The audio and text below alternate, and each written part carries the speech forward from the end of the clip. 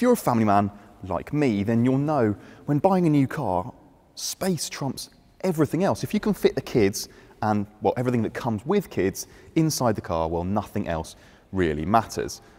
Of course, I am being slightly facetious there because well, if that was the case, then we'd all be driving MPVs or vans with windows. We're not. We're buying SUVs, and for a very good reason. This new Kia Sorento, this is a very good reason.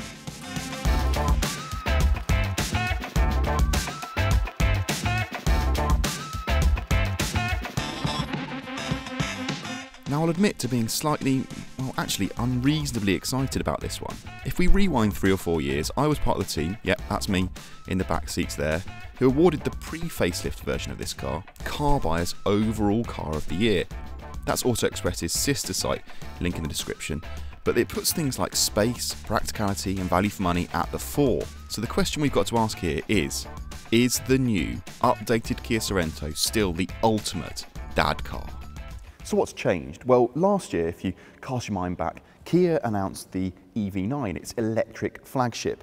And this car, well, this car basically follows in that one's footsteps. So you've got these new headlights, it's got this kind of star map daytime running light signature. The bonnet is actually ever so slightly longer, but it's just made the car look a bit wider, a bit more purposeful, a bit more aggressive.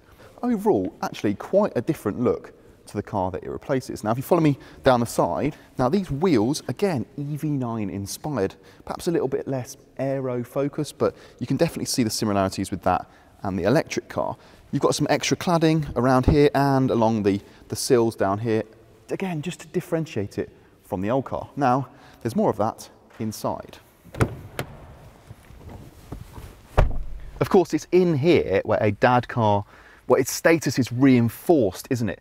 Perhaps a bit more back there than right up here, but there are definitely things in this car that will cement it as one of the greatest dad cars there is. Loads of storage, for example, loads in there. You've got another cubby up here for your phone, two cup holders, and another cubby there as well. In terms of things that are different in this car versus the old one, you've got this big curved panel here. So before it was two separate screens, now it's one screen joined in the middle and they're bigger than before as well 12.3 inches and 12.3 inches. So much bigger much more clear and obviously really easy to use in typical Kia fashion.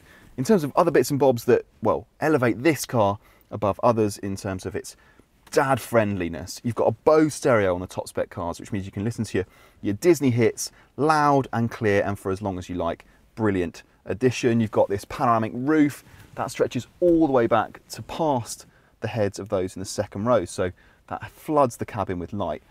The last thing, and well, possibly the most important thing, sustainable leather or sustainable leather alternative on the seats, saving the planet for future generations.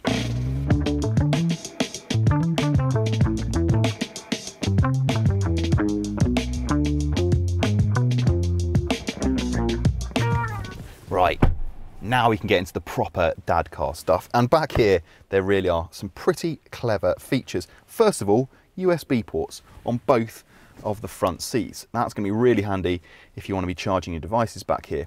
Now, you can't actually see it from here, but there is actually some buttons on the side of the front seat here, which means you can just adjust the front passenger seats. That's going to be really annoying, but really entertaining for your rear seat passengers. Other stuff, you've got cup holders in both of the side doors. That's fantastic. These are heated seats on the two outer chairs. Again, fantastic for, for the young ones or for the old ones alike. Again, this panoramic roof just floods the cabin with light. Looks really good. These seats actually do move backwards and forwards. You can recline them forwards and backwards as well, but even as standard, you've got plenty of legroom and plenty of headroom. Should we see if I can fit in the back?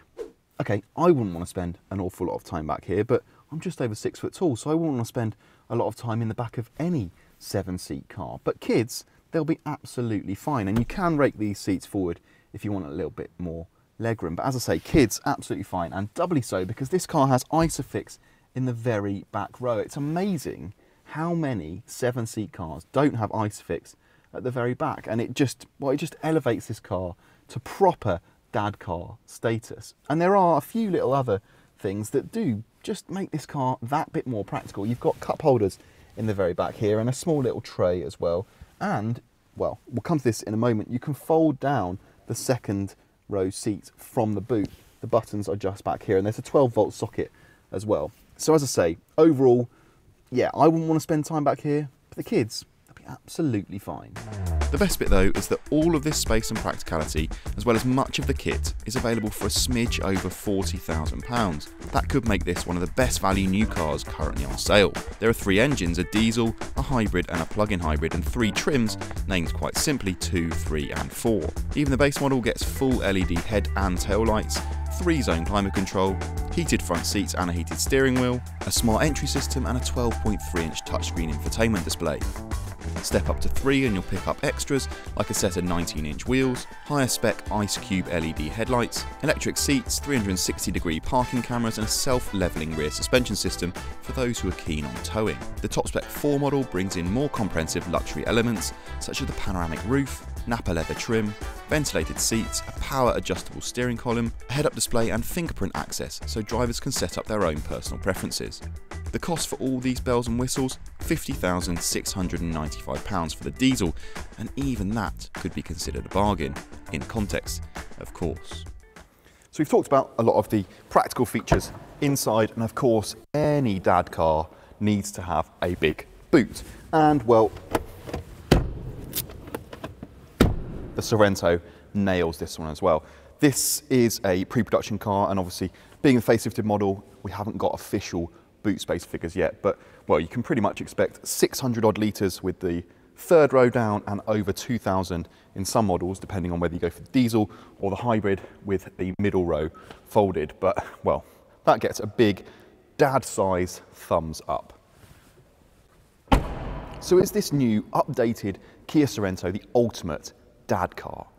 Well, not far off, if you ask me. There's loads of family friendly features, there's masses of space inside, and you get a choice of hybrid or diesel powertrains.